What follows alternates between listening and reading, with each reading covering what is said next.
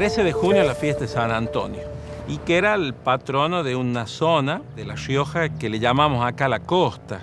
Ahí había un curita que llevaba 50 años, el padre Virgilio se llamaba este cura viejito, un hombre bueno, que jugaba la pelota con los changos, pero que hacía años no predicaba nada en la misa, porque no leía un libro, no sabía que había pasado el concilio por la iglesia. Entonces los señores, entre comillas, feudales, eh, aprovecharon que el obispo iba a compartir ese momento tan rico y tan fundamental para la gente, que es el día de, su fiesta patronal, y entonces armaron todo un circo. Cuando ya era la hora de la misa, aparece eh, la voz de un, parlante sobre una casa, eh, dirigiendo una, toda una manifestación de gente. Eh, ellos decían que todo había sido muy espontáneo, pero se ve que no tan espontáneo fue porque había un altoparlante con música militar de fondo, las marchitas militares, y diciendo en definitiva, ¿no es cierto?, no vayan porque ese obispo es comunista. Y ustedes están predicando, no está acorde con nuestra fe. Les dieron de beber, de maja a muchos de los peones para que estuvieran así medio este, entonados y poder, bueno, llevarlo de las narices hacia donde ellos quisieran, ¿no? Y fabricaron toda ahí una, una, una cuestión de como que el obispo venía a sacarlo al padre Virgilio. Entonces, movilizar a la gente en defensa del padre Virgilio. Por eso nosotros le pedimos que se vayan ya de aquí, porque nuestra iglesia no está para ideologías foráneas. Y con toda esta motivación, eh, despotricaron contra el obispo y lo atacaron. Lo atacaron con tierra, pedradas, ¿no? Eh, a tal punto que bueno, que el obispo tuvo que suspender el oficio eh, religioso y buscar la forma de salir y sacarlo a los otros dos curitas. En definitiva, se decide que me escape de alguna manera para hablar con el gobernador Carlos Saúl Menem.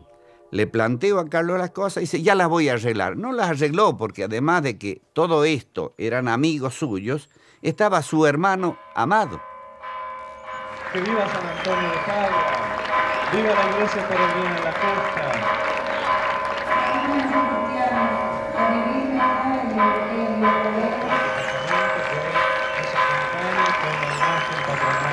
Viva la Santa Veracruz.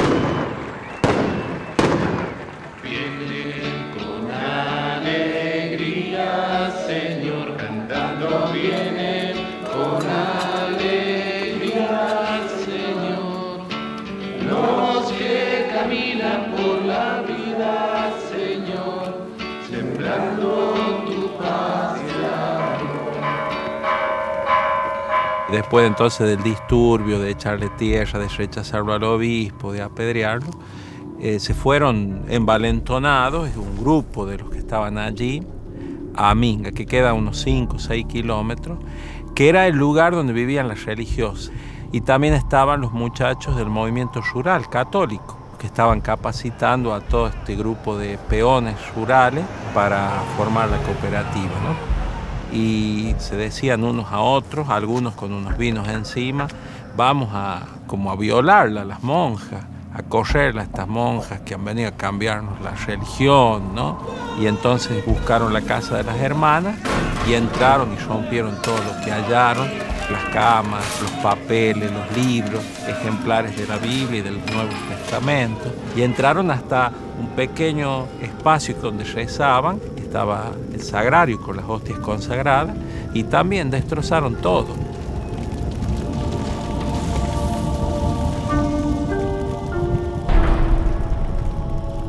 Llegamos a La Rioja, reunión de curas, monjas, ¿no es cierto? Bueno, ¿qué hacemos ante esta situación que ya pasa de los límites de una simple solicitada en el diario? Y ahí donde casi por unanimidad pedimos la excomunión de aquellos que habían dirigido toda esta cosa.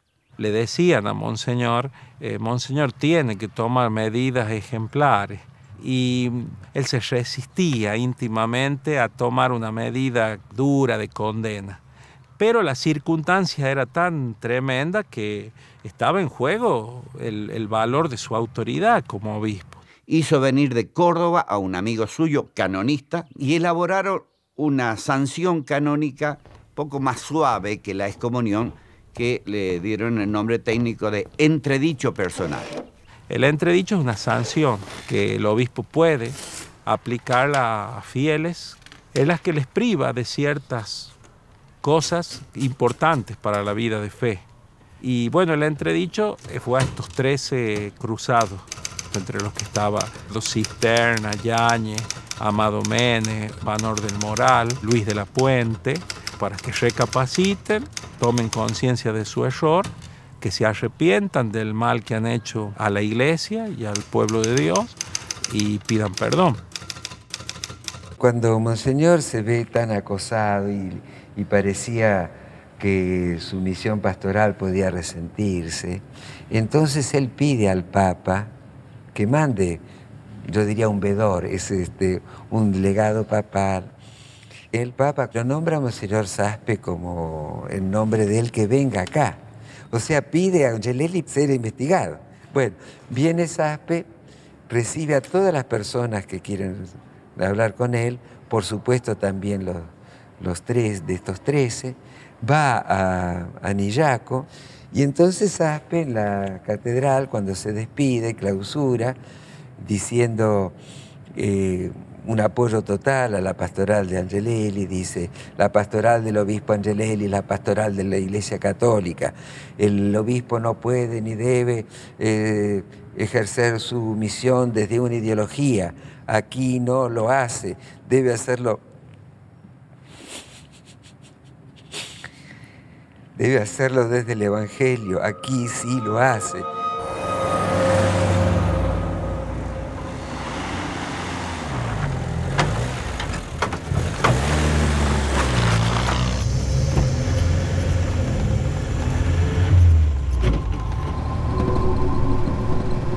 Cada cinco años, los obispos de un continente, por eso son cada cinco años, deben ir a Roma a hacerle una visita oficial al Papa, donde le tiene que llevar un informe de lo que sucede en la diócesis y traer de alguna manera directivas del Papa. Esto es lo que hace Angelelli en el 74, que es una larga visita que él prepara durante un año, porque siempre dijo, no, no me voy yo, es la diócesis la que se va. Muchos rumoreaban que el Papa se negaría a recibir a Angelelli. Sin embargo, Pablo VI lo recibió con los brazos abiertos, se sacó varias fotos con él y le regaló un cáliz y una carta para toda la diócesis de La Rioja. Y de allá vuelve, bueno, con el gran regalo, el regalo que el Papa nos hizo a todos nosotros, que es donde el Papa de alguna manera ratifica la pastoral que está siguiendo a Yeleli.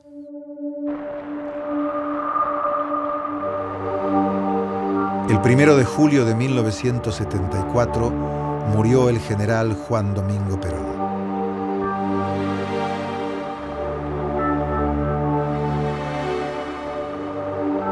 Isabel Martínez de Perón se hizo cargo de la presidencia.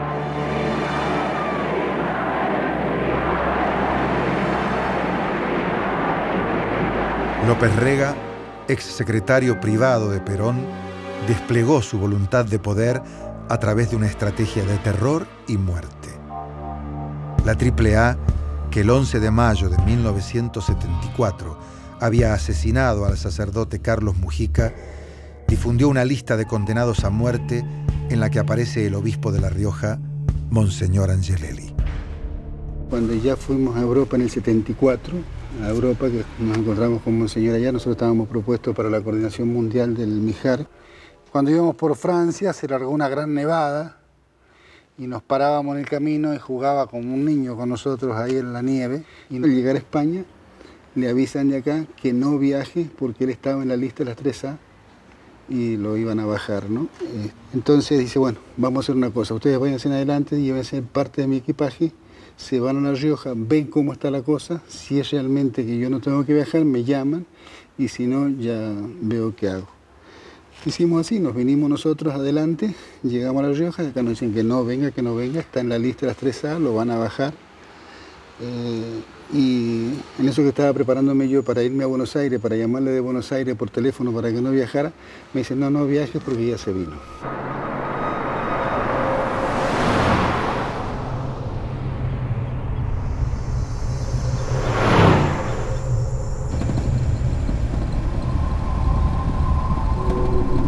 Comienzos de 1976, el gobierno de Isabel tenía los días contados.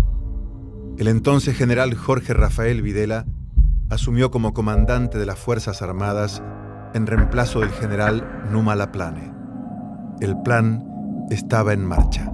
Videla era un hombre de confesión diaria, digamos, ¿no? o sea, muy vinculado y respaldado por los sectores católicos. Había este, figuras religiosas como Bonamín y Tórtolo que sin disimulo eh, apoyaban a las Fuerzas Armadas, eh, justificaban las represiones. En el 76, eh, Angelelli escribe una carta a la institución episcopado argentino, diciéndoles un poco, ¿no es cierto? Eh, muchachos, dése cuenta para dónde va esta cosa. Aquí los grandes defensores de la fe no somos nosotros los obispos, son los militares. Abramos el ojo y de una vez por todas reaccionemos. ¿O están esperando que caiga la cabeza de un obispo para darse cuenta de lo que les estoy diciendo? Bueno, esta es la base aérea de Chamical, que jugó un papel nefasto en la planificación. Se presume que en el asesinato de Angelelli tuvo una participación activa. Fue un centro de represión y detención, ¿no? Y vamos a entrarle porque no hay nadie. Sí, entremos. Una semana antes del golpe militar, eh, hubo un episodio muy sonado a nivel local y nacional que fue este, un cruce entre el comodoro Lázaro Aguirre y el obispo Angelelli en Chamical, lugar donde funcionaba la base aérea. Y este comodoro, eh, ante la prédica de Angelelli, lo interrumpe y le dice, perdón, monseñor, pero yo vine acá a un acto religioso, no a una manifestación política. Entonces Angelelli, en una de las pocas ocasiones que pierde su serenidad, le dice al comodoro, bueno, tiene libertad de retirarse. El comodoro a su vez le responde, no, no, como soy hombre católico, me quedo. Después, eh, desde la base, eh, citan a dos sacerdotes de Chamical, eh, Francisco Canovel y Carlos de Dios Muriat, para pedirles que expliquen el contenido de sus sermones, de sus arengas, de su prédica. ¿Sabe qué? Queríamos preguntarle si teníamos alguna posibilidad de ver la, la capilla. Sí, hombre, ¿cómo no? ¿Se podrá? Sí, sí. ¿Quién tiene la llave de la capilla? no ha venido. ¿Cómo está? No, Herrera es el suboficial, tiene la madre enferma en... en Pero no... Eh, Balbo ya viene.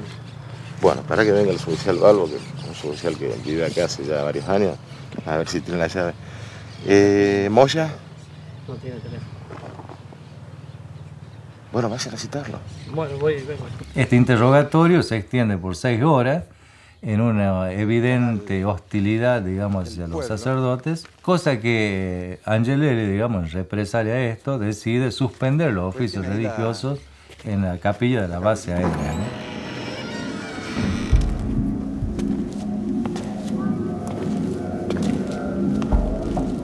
En contrapartida, a su vez, la Iglesia Argentina decide enviar nada menos que a Monseñor Bonamín, que decía que los argentinos deben saber que hay pecados contra Dios que se lavan con sangre. ¿no? Comunicado número uno de la Junta de Comandantes Generales. Se comunica a la población que a partir de la fecha el país se encuentra bajo el control operacional de la Junta de Comandantes Generales de las Fuerzas Armadas. Finalmente, el 24 de marzo de 1976, se produjo el golpe de Estado que derrocó a Isabel Perón. Asumió el gobierno una junta militar presidida por el general Videla, el almirante Macera y el brigadier Agosti.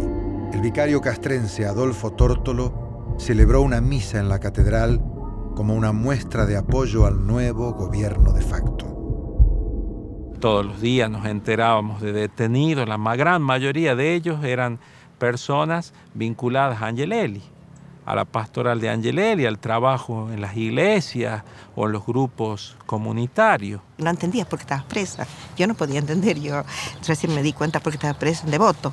Porque no entendía por qué. trabajar por, por los chicos, eh, trabajar por el cooperativismo, trabajar por un centro vecinal era malo, no, no, no me entraba, entonces no podía entender, ¿no? Este, y bueno, y él venía y visitaba a los presos, Ah. contra viento y marea se imponía, porque era este, muy dinámico, era grandote, fuerte, y cuando te miraba a los ojos, te miraba con exigencia, imponía un respeto. Claro. Y era reconocido, no, no era una figura que podía pasar desapercibida. claro. Él entraba, porque hacía sentir el peso de la justicia, que él quería ver a la gente, que no venía a hacer nada malo.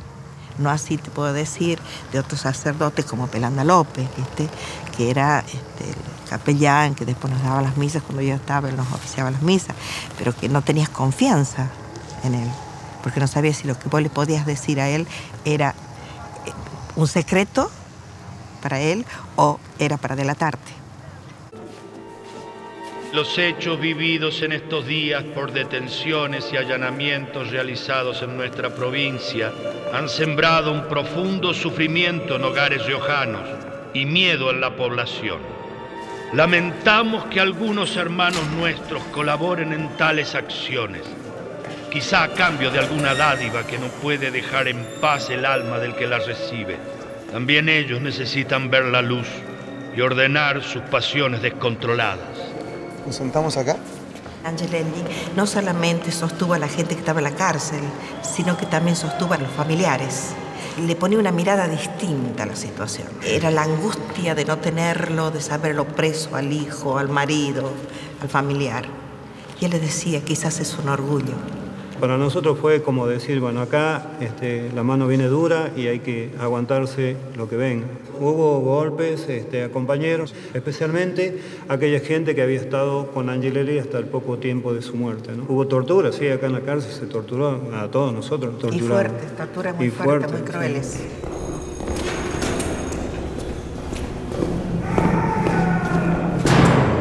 Mi vida fue como el arroyo, anunciar el aleluya a los pobres y pulirse en el interior.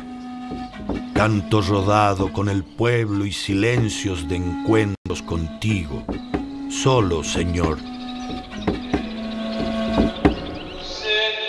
Hace más de 42 años que la radio difunde todos los domingos la misa. Y Angelelli la asume como realmente era una forma de comunicarse con todo el pueblo, ¿no? Entonces tenía un lenguaje muy familiar, este, hablaba con la comadre tal, con fulano de tal, con el don Antonio, que le faltaba esto, que ya llegaba. Bueno, y se comunicaba. Y nosotros curas, eh, que no escuchábamos ninguna misa de esa, la escuchábamos, ¿no? Los que estábamos afuera nos, enterábamos de qué pasaba. Luego vino una orden de que ya no se transmitiera más directamente de la iglesia catedral la misa, sino que se la hiciera desde Anillaco, donde estaba el padre Virgilio Ferreira, hacia un estilo que habían impuesto eh, en ese tiempo el régimen militar. En cualquier momento decían se tenía que, que dejarse de emitir no la misa, sino el mensaje de Angelelli. La cosa venía mal, nos cuidábamos mucho, nos acompañábamos, se van algunos sacerdotes, eh, sobre todo extranjeros, eh, muy amigos nuestros, Paco de Alteroche, Andrés Serie, son dos franceses que estaban acá con nosotros ahí en el oeste, ¿no? Un Viernes Santo, como muchas otras veces, a Angelelli la policía lo desconoció como obispo y lo trató menos que a un simple ciudadano. Permítame los documentos, tomarle los datos de la camioneta y registrarle la camioneta a ver qué llevaba. De hacerlo abrir la valija y de hacerlo mostrar prenda por prenda, todo, dudando de qué es lo que traía. Pero en el fondo e- era para humillarlo.